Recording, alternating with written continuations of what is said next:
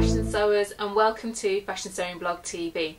I'm Colleen G Lea and in this video tutorial I'm going to be showing you a quick and easy way to finish curved edges on sheer fabric. Here I have sheer fabric with a finished curved edge and that edge is achieved by a zigzag stitch that gives it that beautiful fine finish that you can see we need to do is make sure, and it's very important this, that the curved edge is a smooth cut.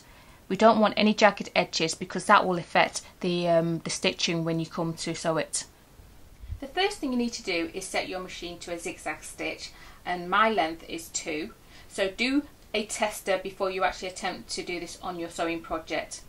Now the alignment of your edge needs to be inside of your foot so we don't want it to be aligned to the outer edge of your foot. We need it to be aligned on the inner side of your foot because we want to make sure we get the edge of the fabric. Put your foot down, needle down, and then press and start stitching. Now just guide it through, don't put, don't pull on the fabric remember this is up cut on the bias so you don't want to be stretching so just guide it through.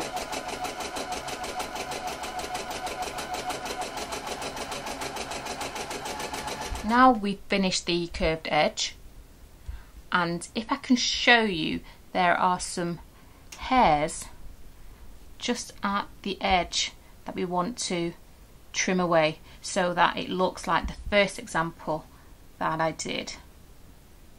Now you're going to need some sharp scissors for this and good eyesight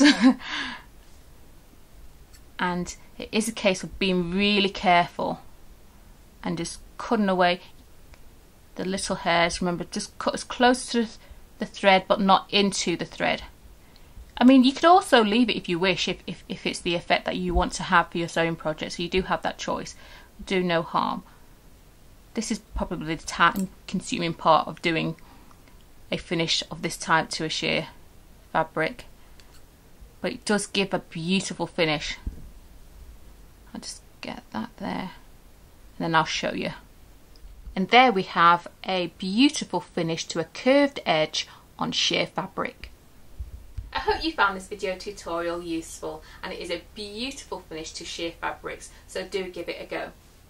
Don't forget to subscribe to Fashion Sewing Blog TV for free weekly video tutorials and if you have any comments or queries please put them in the comment box below and I'll see you next time.